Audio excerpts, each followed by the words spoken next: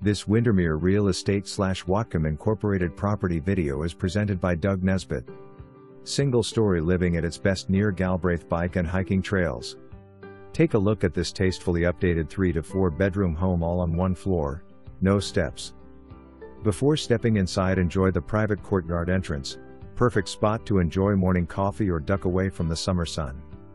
Once inside, you will find newly installed flooring, nice bookshelves, and inviting fireplace in the living room. An updated kitchen looking out to the backyard is bordered by a dining room on one side, great room on the other.